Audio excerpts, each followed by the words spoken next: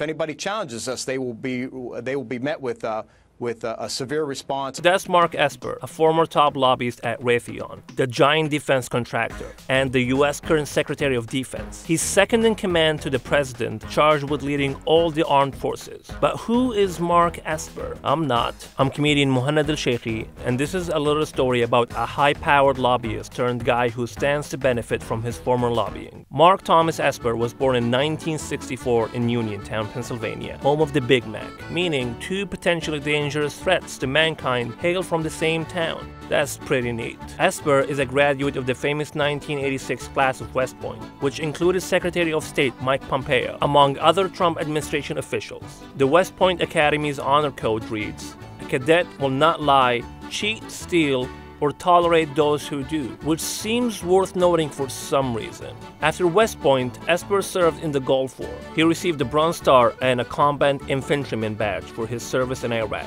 He served more than a decade on active duty. In 1996, Esper became Chief of Staff at the Heritage Foundation, a conservative think tank funded by political megadonors like Rebekah Mercer and Betsy DeVos. Later, he worked as a senior policy advisor for Senator Chuck Hagel, a guy who voted for the war in Iraq. Cool policy advising. Hagel would later be hired by the Obama administration to serve as the country's Secretary of Defense. Esper would go on to work in the George W. Bush administration as the Deputy Assistant Secretary of Defense for Negotiations Policy at the Pentagon. In 2010, Esper was hired as Vice President of Government Relations at Raytheon, where he spent seven years as a defense contractor's top lobbyist, making sure the US government bought as much weaponry from them as possible. Raytheon does billions of dollars of business with the US government each year, and during Esper's tenure, Raytheon posted record federal lobbying spending in 2013, dishing out $7.6 million.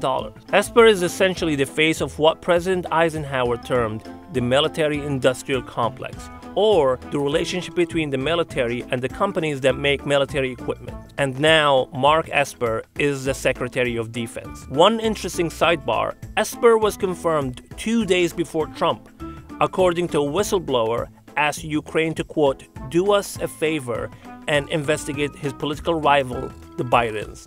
And if they didn't, he would withhold hundreds of millions of dollars in military aid. Just an hour and 45 minutes after the phone call on July 25th, Trump welcomed Mark Esper in full honors ceremony on the Pentagon's parade field. During Esper's confirmation hearing, Senator Elizabeth Warren called on him to recuse himself from matters involving Raytheon. You're prohibited from participating in any decisions involving Raytheon for two years after your appointment as Army Secretary. But because you have already been in government for 20 months, that recusal period is set to expire in November, which means you will soon be able to participate personally and substantially in matters involving your former employer. That's a conflict of interest given that Raytheon does billions of dollars worth of business every year with the Defense Department. Esper stands to benefit from Raytheon's success he's entitled to at least $1 million in deferred compensation, and there's nothing stopping him from lining the pockets of his former colleagues. Senator Elizabeth Warren knows this, and she kept pushing. I recently introduced legislation to block the revolving door between the Pentagon and giant defense contractors like Raytheon by prohibiting big defense contractors from hiring former senior DoD officials for four years after they leave government. If it were the law, you couldn't go back to work at Raytheon or any other defense contractor immediately. In other words, it would help close the revolving door.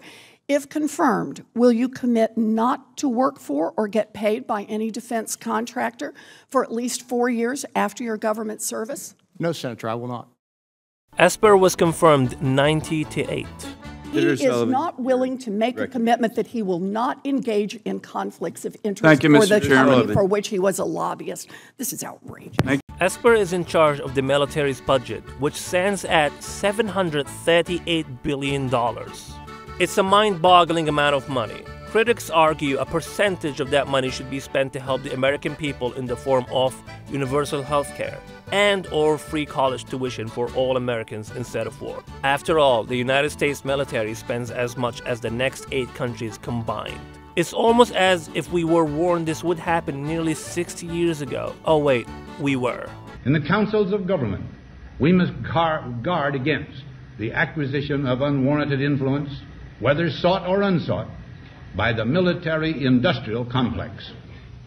The potential for the disastrous rise of misplaced power exists and will persist. It's unclear whether or not Esper will work closely with Raytheon throughout the rest of his time in the Pentagon.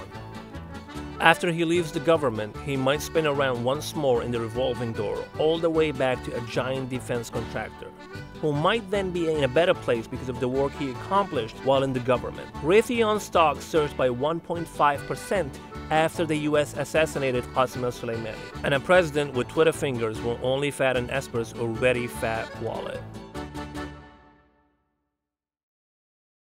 Hey, thanks for watching Who Is. Did you know we have a podcast now too? On Who Is, the podcast, I'll dive deep into the fascinating lives of the people who run things, whose decisions impact every aspect of our lives. How did they get where they are today? And knowing that, what might they do next? From politicians to the ultra rich, to military contractors and monarchs and media moguls, I'll introduce you to the reporters and experts who know these real life world molders best sharp eyed observers and confidants who observe our subjects as they make the decisions that define our everyday lives. To see more, hit the link or search Who Is on the iHeartRadio app or wherever you get your podcasts.